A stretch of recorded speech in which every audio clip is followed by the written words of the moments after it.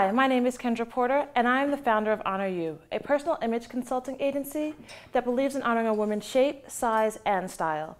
Today we're here in Bronxville, New York at Weezy D, and I'm going to show you the best shirts for different body shapes. Whether you have a smaller bust or a fuller bust, there is a shirt for you. So this first shirt here has an extensive pleating down the front of the line of the shirt. This will help create volume to the shirt without adding extra weight.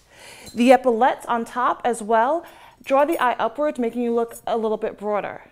Here, this lightweight knit will also work for a woman who is fuller busted. So sometimes you can't do a button down shirt because of the pulling. A light knit sweater for the summer is a great way to do that.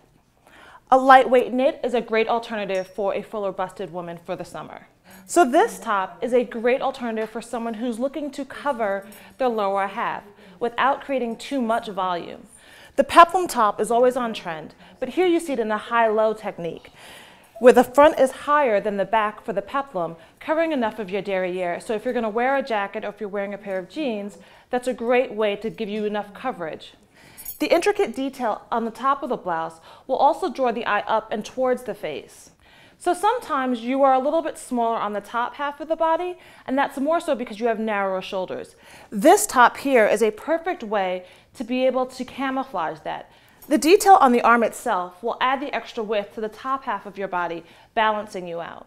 And so those are some of the best types of shirts for various body shapes.